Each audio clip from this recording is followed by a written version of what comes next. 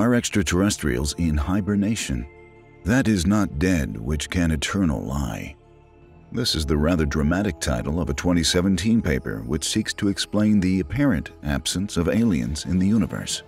The estivation hypothesis argues that highly advanced extraterrestrials may exist in a form of hibernation, and this is the reason for their lack of communication thus far. But why did they do this? Where can we find them? And what are they waiting for? Let's find out together as we explore the question Are extraterrestrials in hibernation?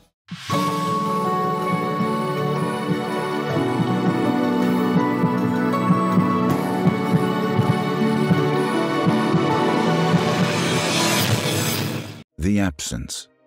Fermi's paradox deems an explanation for the absence of alien life in the universe necessary, since it's difficult to reconcile the high statistical likelihood of extraterrestrial existence with the lack of evidence of it thus far.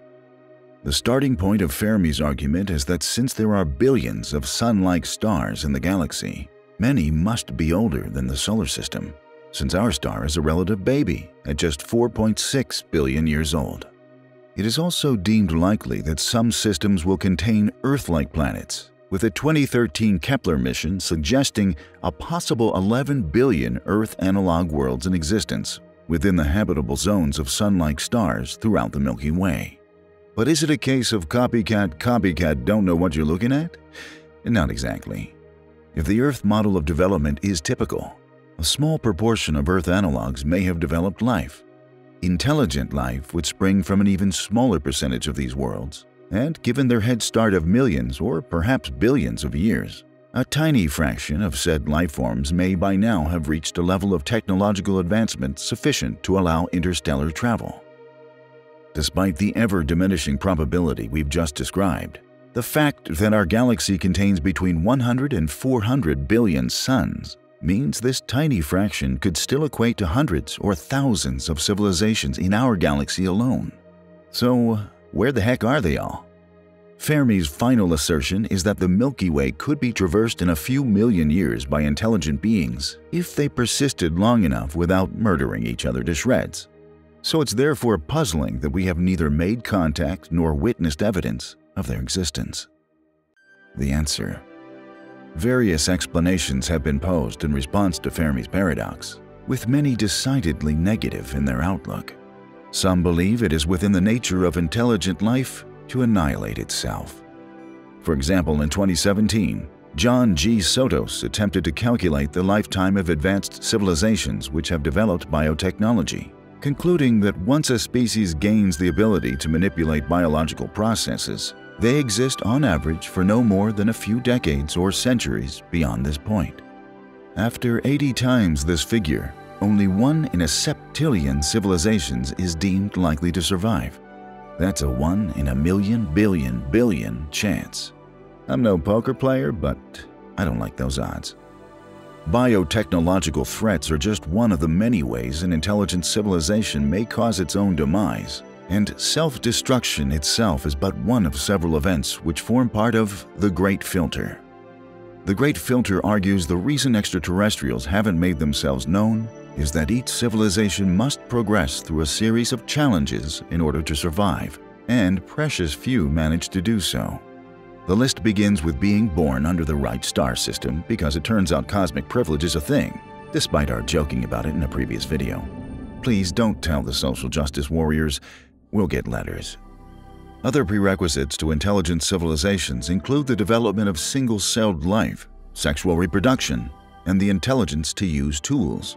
Beyond this, said life form must also endure self-caused and external disasters such as nuclear annihilation, asteroid strikes, supervolcanoes, gamma-ray bursts, and the invention of the most polluting activity of all, social media.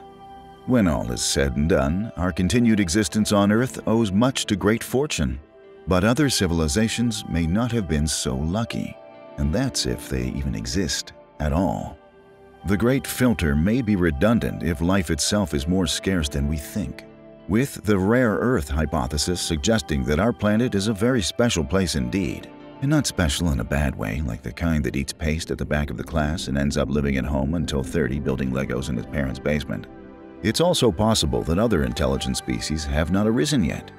And even if they have, the vastness of the universe may make interstellar travel more difficult than we've imagined. There's also the chance that Earth is just a stupid jerk planet that nobody wants to contact yet. Or we live in a simulation controlled by extraterrestrials who don't want us to know that we're trapped. We've explored many of these ideas at Strange Mysteries before, but one we've never considered is the estivation hypothesis.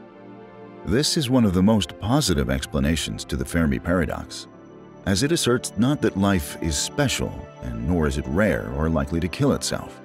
The estivation hypothesis tells us that we haven't met aliens yet for the simple reason that they are sleeping. Aw, isn't that just the cutest scientific theory you've ever heard? The Hot Universe Are you watching Strange Mysteries with your laptop on your groin? Can you feel how warm your junk's getting? You should probably stop microwaving yourself and move to a desk or something. But also consider how problematic this situation would be if magnified a million times over.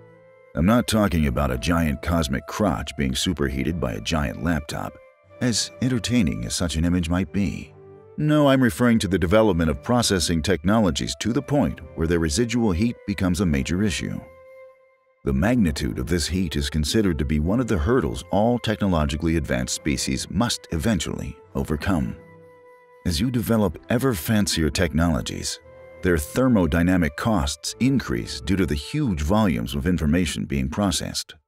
This may not be too much of an issue up to a certain point, with universal exploration limited yet still possible.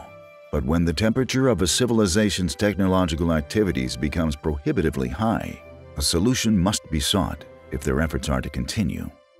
So what's the answer? Giant cooling fan or smash a frigid ice world into the side of your planet?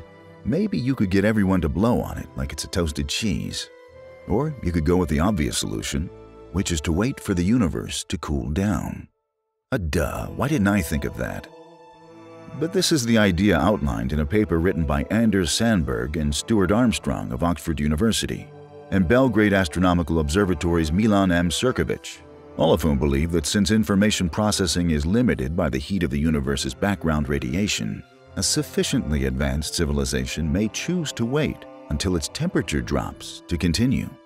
But since this process takes rather a long time, the authors suggest that intelligent extraterrestrial civilizations may choose to take a nap, rather than wait out the trillions of years required. And this is why we haven't met any aliens yet, they're all hibernating until the universe gets cold. The Estivation Hypothesis Our universe will become much colder as time goes on due to its constant expansion. As its contents are spread farther apart and the stars begin to die, the overall temperature of the universe will gradually decrease. Sandberg, Armstrong, and Ćirković calculate that a low-temperature environment could produce a 10 to the power of 30 multiplier of achievable computation. Translation When the universe gets cold enough, computers can be built which improve upon their previous models by a factor of one nonillion. That's 1 followed by 30 zeros, or a thousand billion billion billion. Our modern computers will seem as powerful as a tin of cat food by comparison. So it's no wonder alien life forms may want to sleep their way toward such an era. The paper's authors believe that such advanced civilizations may have already visited as much of the universe as they want to, and have likely fiddled with nature to a point where there's only one thing left to explore themselves. Internal cultural exploration of the mind, the self, and the history of a race would require huge amounts of processing power. Therefore, ancient powerful civilizations may force dormancy upon themselves until such processing is possible. It's kind of like when we all used to set our MSN Messenger status to away. The aliens aren't deliberately avoiding us like those jerks who pretended to be offline, but nor are they ready to communicate at this point in time. However, it's unlikely that said beings exist in what we would understand as a hibernative state. Their bodies aren't all piled up somewhere, jammed with tubes and whatnot. It's thought more likely that these advanced beings exist in digital form, having long since disposed of their biological bodies due to their inefficient consumption of resources. Such a race would wish to conserve the universe's finite energy stocks to save it for processing power. And the best way to do this is to transfer everyone's consciousness to a matrix-style virtual world. So, if many ancient civilizations exist solely as a digital presence, how could we ever hope to find them? Must we too wait for trillions of years to make contact with an extraterrestrial race? Perhaps not. And we're going to explore how to track down these hibernating extraterrestrials in our bonus video, The Hunt for Dormant Virtual Life, which you can watch over at patreon.com slash strange mysteries. For a $2 a month pledge, you'll gain access to hundreds of our bonus videos and the Strange Mysteries community, with your contribution helping us to produce new videos and explore brain-bending topics in ever greater detail. If you don't want to donate, then that's Bullshit. We know you wanted more. Strange Mysteries on YouTube and our Patreon bonus videos weren't enough to quench your search for truth, to give you that sense of awe and wonder again, to go past what you thought was the end, to give you the answers you seek, but which only lead to more questions. That's why we just up the stakes. Chemicals of reality. Reality, consciousness, brains. What else is there? Ask yourself that question. Perhaps that's all there really is, but perhaps everything else is found within a place where these ideas, these things, overlap. Some thing, some place that is undefinable. To many people, altering certain chemicals in their brains produces what they would simply call hallucinations. In fact, what we're going to discuss specifically used to be called the businessman's trip, as one could enjoy it. Come down and put your pants back on in the time it takes to eat lunch. It wasn't taken seriously, well, unless of course you started digging. And some people, including us, did. Already, though, to many people, this chemical is special amongst others. Very special. To them, it represents something more meaningful and incredible, as if it's the gateway to the next level of consciousness. The ticket to a higher reality barely explored by most humans. It is the entry point to a new reality, visited by only a select few whose minds have become enlightened through the use of this exotic substance. For this reason, it's commonly referred to as the spirit molecule. But is its reputation as a mystical mind opener deserved? Or is it and everything it represents just a load of bullshit?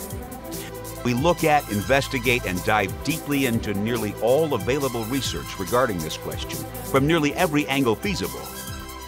And in the course of doing so, stumble upon unexplainable patterns, correlations, and neurological evidence for a reality existing beyond this one.